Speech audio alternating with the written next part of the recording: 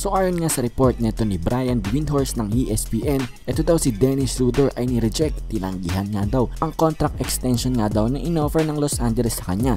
Sabi niya nga, Dennis Schroeder reportedly rejected a 4-year, $84 million extension from the Lakers. So yan nga daw ay ayon kay Brian Windhorst. Well, sinabi rin naman kasi ni Dennis Schroeder, di ba nung nakaraan, na pinaplano niya nga daw i-test ang free agency. Titingnan niya siguro kung magkano ba talaga ang worth niya sa free agent market. Kasi 'di ba itong si Dennis Schroeder nung makanakaraan taon niya eh panay off the bench nga lang ang nilalaro niya. So hindi ganoon kataas nga ang value niya kasi nga off the bench ang nilalaro niya.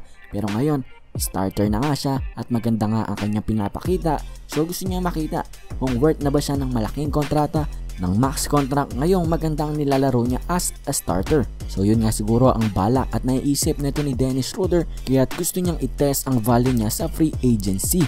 Or baka naman na ayaw pa nga mag-commit ni Dennis Schroeder sa Lakers ng 4 years. Siguro naghahanap lang siya ng mga 2 to 3 years para nga hindi siya masyadong makulong sa ibang team at sa medyo mababang contract kumpara mo sa max contract, 'di ba? Ang max contract kasi ay halos nagkakahalaga ng 100 plus million, 120 plus at ang offer nga lang sa kanya ng Lakers ay 84 million.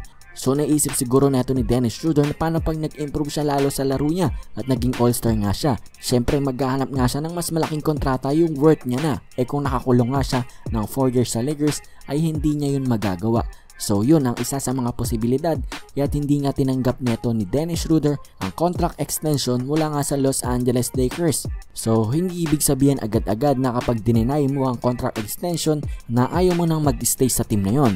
Pero pwede rin naman yung mangyari, huwag nating alisin ang posibilidad na yon at huwag natin pang siguraduhin ang sarili natin sa hindi pa naman talaga sigurado.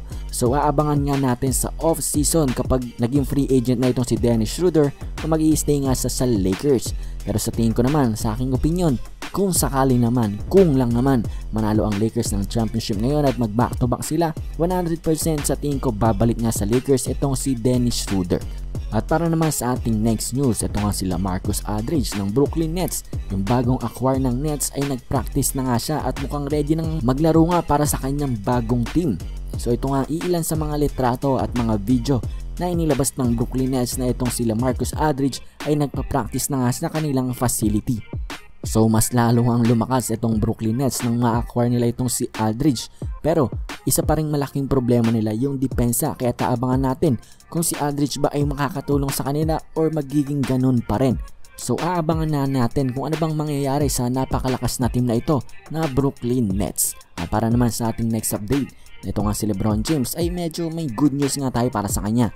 Dahil nga, nung nakaraan ay sinabi nga na 4 to 6 weeks nga daw ito si Lebron James. Ngayon, may update nga sa kanya si Sham Saranya at sinabi niya ay at least 3 to 5 weeks na nga lang daw.